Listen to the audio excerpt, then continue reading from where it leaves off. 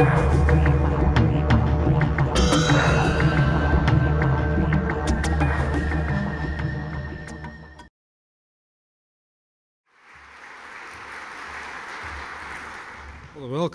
I'm going to introduce you to my thoughts on road safety.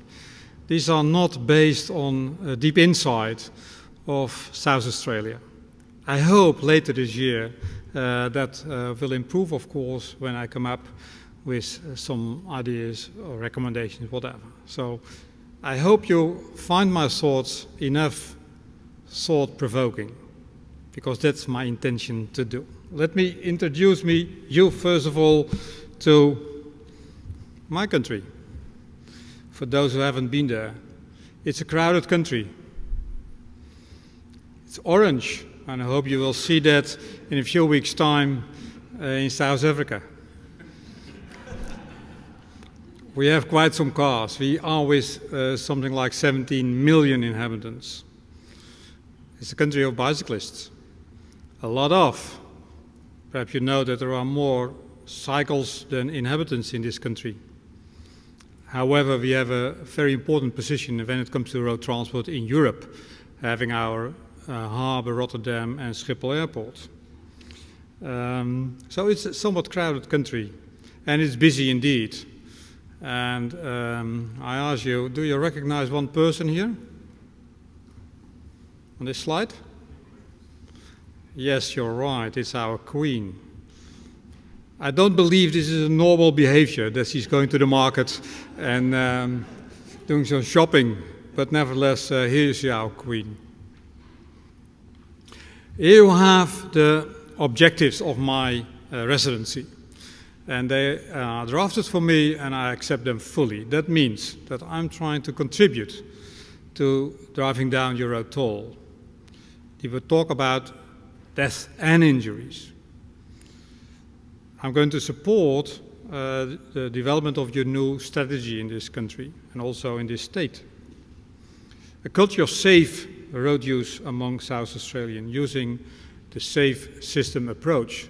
Don't be too frightened by that term, I'm going to explain it to you.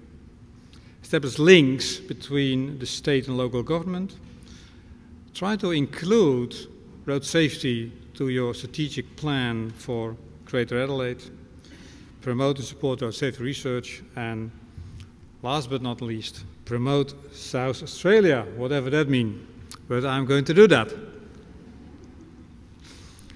As Gabriel told already, this is a country which has a good road safety record. And here you see the development of the number of fatalities over the years. And that means that we drove our fatalities down from more than 3,200 to something like 700 last year. And that's a reduction of something like 80%. At the same time, we increased our mobility, our motorized mobility is 20 times, so 20 times more kilometers traveled at the same time. So there's enormous reduction uh, when it comes to rates. That's not unique in the world, I have to say that. And here I have a graph indicating developments in different parts of the world.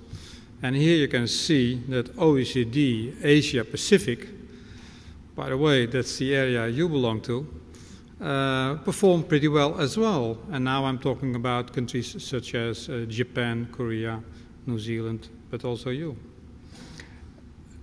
Sometimes I show this to my US friends and challenge them, challenge them why they are not making a lot of progress, like all the other regions in the world, motorized regions in the world. So we are not unique, but the pace of improvement of my country is one of the highest in the world. And that resulted in a, a comparison uh, in, the, in Europe. But you can see here, don't try to read all these short names of these European countries.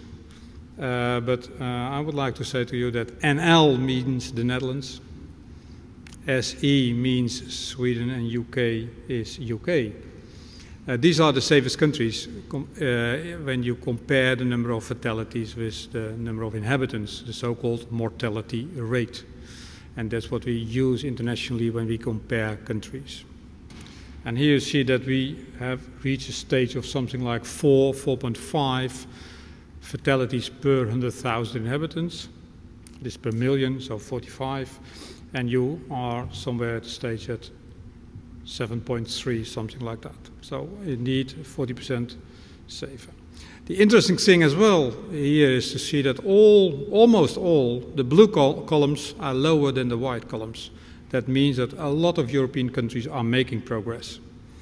And that's good to know that if you have the ambition to improve the situation, that there are quite some countries who are able to do that.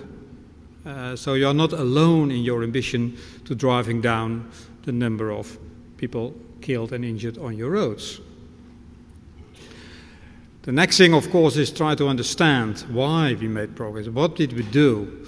And uh, we carried out a study uh, comparing the three safest countries in Europe Sweden, United Kingdom, and the Netherlands. And um, we call them the sun countries.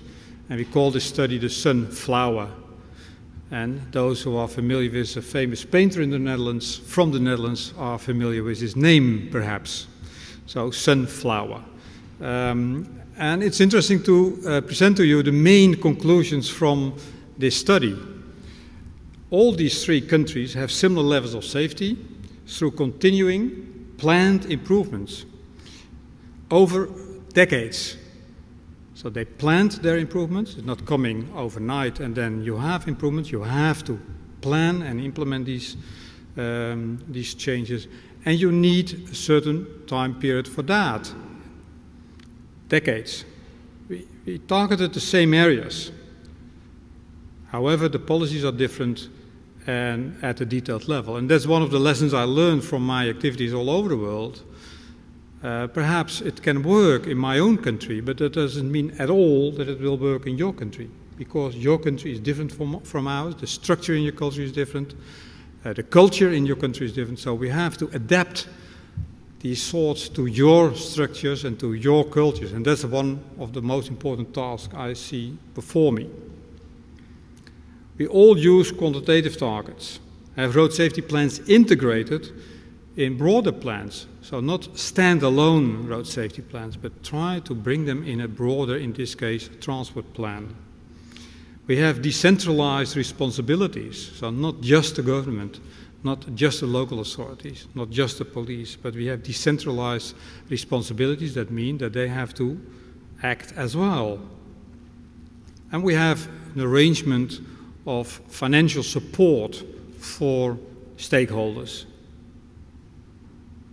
And the last conclusion is important as well the understanding in society that death and serious injuries are regarded uh, to a large extent as avoidable.